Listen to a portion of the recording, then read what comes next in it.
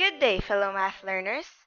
In this video lesson, we will be unlocking skills that particularly pertain to interpreting the mean and variance of probability distributions and applying the formulas to get the mean, variance, and standard deviation of a discrete random variable that we have learned from the past lessons.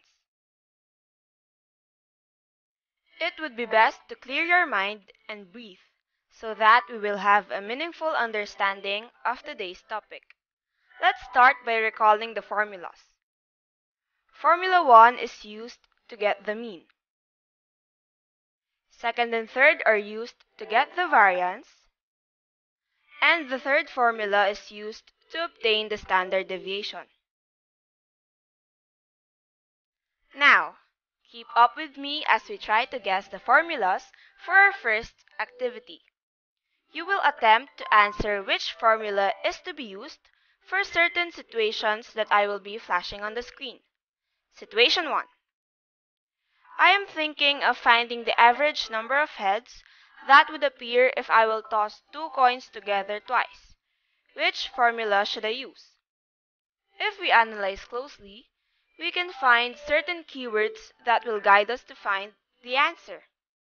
For this example, we have finding the average. You're getting what I mean, dear learners, right? Using this phrase, we know that the formula to be used is to get the mean. Therefore, Formula 1 is the correct answer. Next, situation 2. I went to the grocery store and I noticed that there are five different kinds of brown sugar at different prices. Each brand has different probabilities that they will be sold. What formula should I use if I want to determine how the prices vary from the average price